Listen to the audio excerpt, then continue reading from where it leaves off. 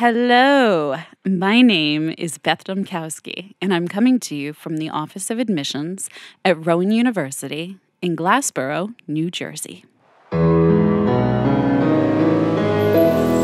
Welcome to Rowan Confidential. Uh, today I have Kim Vogt with me. Welcome, Kim. Hi, thanks for having me. Absolutely. Kim is an academic advisor at Rowan University, where she works with incoming freshmen who are undeclared in their major, as well as change of major students of all grade levels. She's an academic coach for academic probation students and teaches a class that specifically focuses on acclimating students to college and helping them transition successfully. She received her bachelor's degree in sociology from Rutgers University and her master's degree in counseling and educational settings from Rowan University. When she is not counseling students, her part time jobs include being a yoga instructor, a cookie baker, and a dog mom. What kind of dog do you have? I have a uh, Cairn Terrier. A Cairn Terrier. It's like a Toto from The Wizard of Oz. Oh my goodness. You didn't name it Toto, did you? No, his name's Scruffy. Oh, Scruffy. Okay. Oh, that's so cute. How old is Scruffy? Uh, Scruffy's 15. 15. Yeah. Oh my goodness. Okay. Um, so other than Scruffy, Yes. what wakes you up in the morning? What's your inspiration or passion? Um, so I absolutely love coming here and working with the students every day. I've had jobs in the past that I've worked where I really didn't have that feeling, and here it motivates me to come up and know that I'm going to make a difference in their day. Um, I love the support staff that I work with, and we really work well with each other and can bounce ideas off of each other, and that just really motivates me to come in here in the morning and and make a difference not only for my coworkers but also for the entire Rowan community. So you are an academic advisor. What does that mean? Maybe somebody who hasn't met with an academic advisor. What do you do? What's your relationship like with the students? How do you meet them? How do you talk to them? How do they find you? Right. So, um, a lot of students who I work with don't have a major. Um, every student who comes into Rowan University, when they are assigned a specific major, they have a specific academic advisor that we work with. So, in our department, there's probably about five or six of us who work with the exploratory studies or, or you know undeclared students. Um, and they can make appointments with us through online. They can make appointments by coming into our office. A lot of times we have walk-in hours from 9 to 10 every day and they can come in and meet with any any of the five of us that work up there. And um, as an academic advisor in our role, it's a little bit different from someone who is in a specific major because they work with students helping them plan out their coursework for that specific major. Where ours is a little bit more exploring what types of majors they want to have and then also looking at the coursework that could go towards any type of major that they want to have. So working with us helping to develop a plan of where they might want to go and then kind of laying out a path for how they could reach that. So, working in admissions, when I meet students on the road and they say, you know, I'm not sure what I want to do, or I think I want to do this, but I'm not entirely sure Mm-hmm. that's where I want to end up, they always seem to be afraid that not declaring something is going to hold them back time wise. Right. Like it's going to take them longer to graduate. Do you find that to be true at all? I find that a lot of students have a concern about that. A lot of parents have a concern about that. Uh, when in reality, that's that's not true. Um, I will say, with the exception of a major, maybe like engineering, where you really have to be on track from the very beginning, you might have to end up going an extra semester. Um, but for the majority of different majors that are here, there are a number of courses that you can take towards that that specific major um, or a totally major you have no idea about.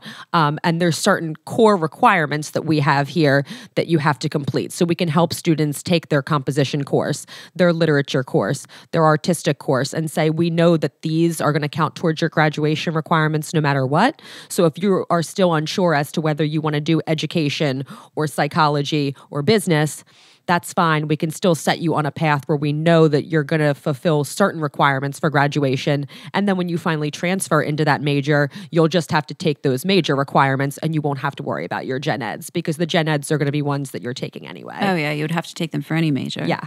So the students that are coming in and they're not really sure what they want to study, what's the community like for them? I feel like some of the other majors, like there are learning communities where mm-hmm. they could live together. Do are these students just kind of floating out there in oblivion, or is there support for them? No, so there's there's great support for them. Um, there are specific. We have one of the courses that I know that you mentioned that I was teaching. That's the one that acclimates students to college is called Rowan 101. Um, Mm-hmm. Oh, and a lot of students who are in majors sometimes don't even end up taking that course. Where for the exploratory studies students who are undeclared, we make sure that they're in one of those courses, and everyone who's in that course with them is also an exploratory studies student. So a lot of the advisors teach that course.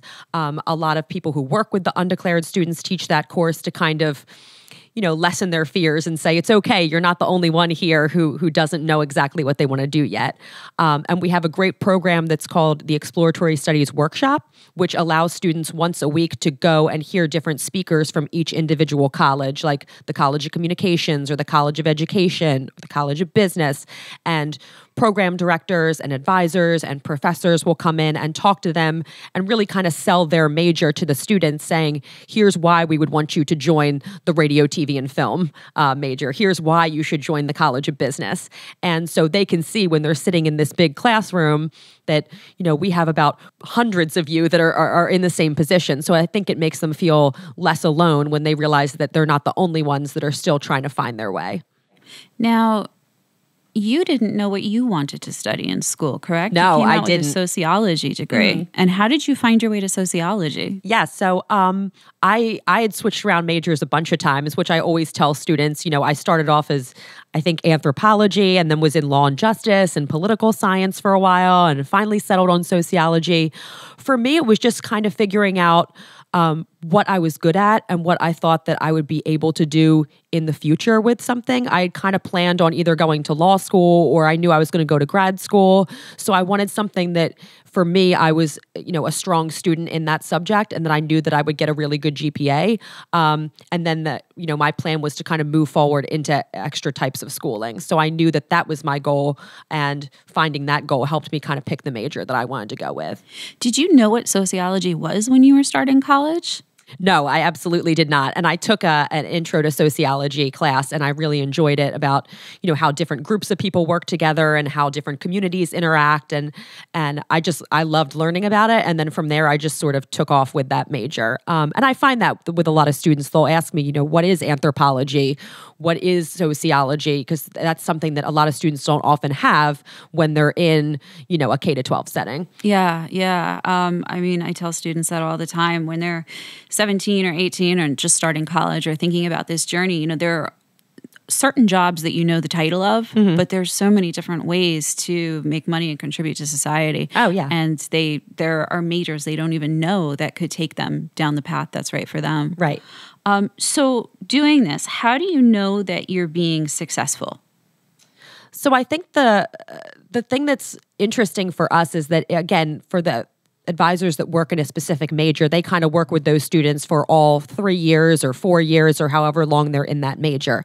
Um, for us, we know we're being successful in a way if we kind of don't always see them again because because we're the ones who are kind of trying to set them off in a in a path where they're now going to be in a major. So if I work with a student who is say going towards marketing, I'll plan for them to go towards marketing and then they get into marketing and it's kind of like, well, goodbye. Goodbye. Nice to see you. Thank um, Which is successful for us, but it, it's always nice when students come back and they say, you know, I wouldn't have, have picked this major had it not been for you bringing this up. Or I always thought that I w- had to do a college of business major in order to get a job, and now I realize that I could do my my psych degree with this minor and still go in the direction that I want to go in. And you know, that's been really rewarding for me to show them that there's not just one path always to get to where you need to go. That there's usually a lot of times more than one option. Uh, and I think when they come back and realize that and say, "I love my major now, and I'm so glad that you know you helped me find this," that's really rewarding for for me. It's amazing how, um, you know, at a place like Rowan, you can really have all of your interests appear on your transcript. You Oh, know, yeah. You can major in something, you can minor in something else. Um, even outside of the classroom, I mean, you're a yoga teacher. Yeah. How how how did that happen? Yeah.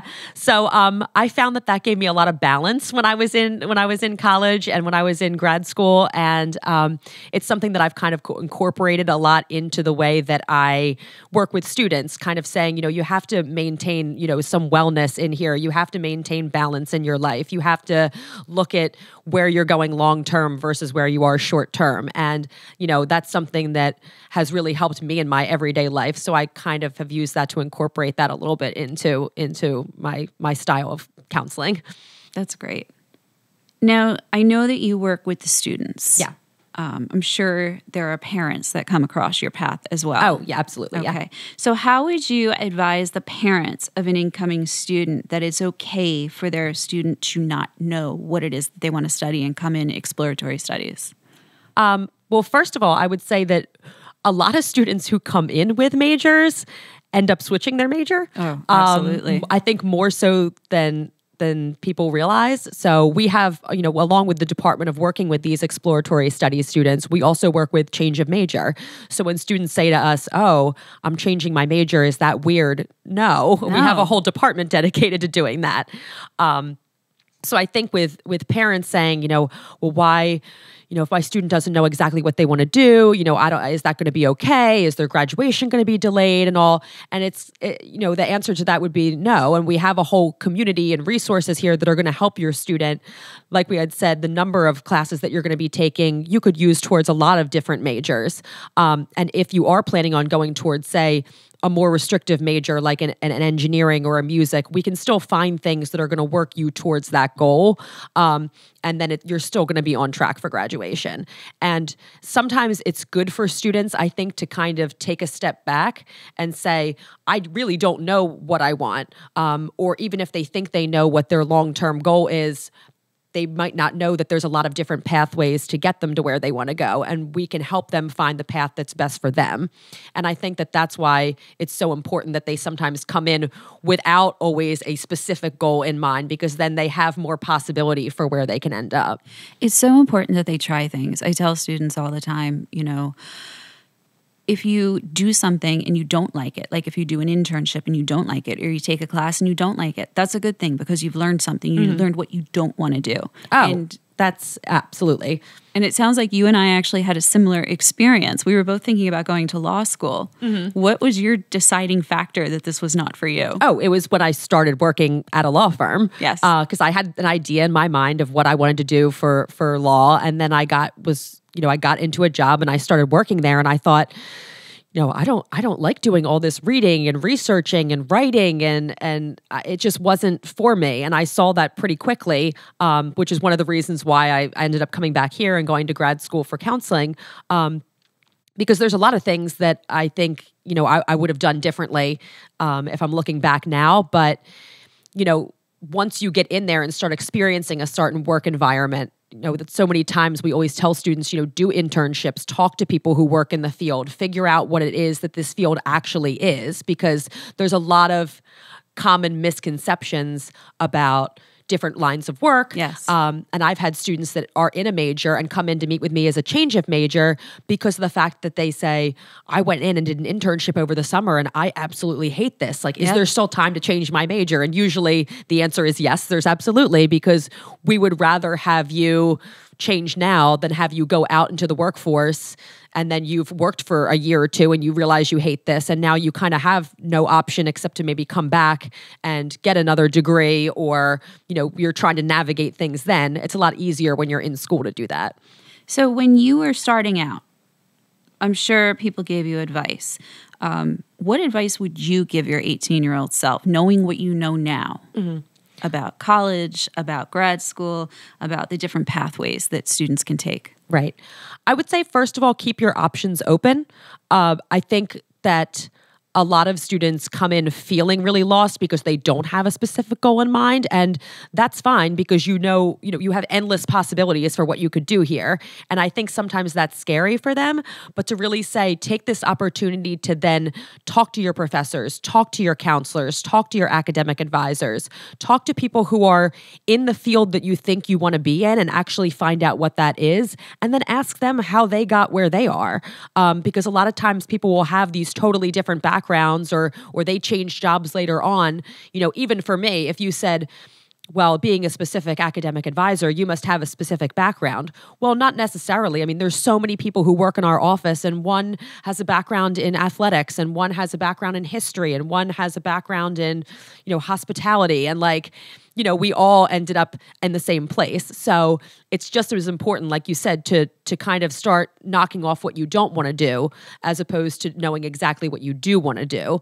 Um, and I would say just, you know, get as much information as you can from anyone. I mean, talk to your parents, friends. If anybody has any ideas of what you think you want, you know, it's always important to like find out from people what that actually is like in the real world. Yeah, see what the day to days are like and try to reverse engineer it so that you can get there. yeah, exactly. um, so, lastly, why Rowan? Why Rowan for you? Why Rowan for students? So I really appreciate the community that's here. Uh, like I said, I love all of the people that I work with on a day to day basis. And I think that there's a really large support system for students who are here. Um, one of the things that I love about the university, because as I said, I, I not sure if I mentioned it, but I transferred schools. I went to two different schools. Oh no, you didn't. Um, I originally went to the University of Delaware, and then I finished up at Rutgers, and um, and then I've been here at Rowan for my master's. So I've been quite a few places, and I love that this school has a lot of the the I'll say the big school opportunities, but mm-hmm. with the small school feel. Yeah. Um, there's a lot here that gives the students the support that maybe, you know, you're not just going to be a number because your class has 500 people in it. Like we don't have anything like that. But yet, if you want to go watch the football game and go to homecoming, we do have that for you. Um, so I think that you get a lot of the opportunities that the big schools would would give you, but you have that small school environment, that small support system.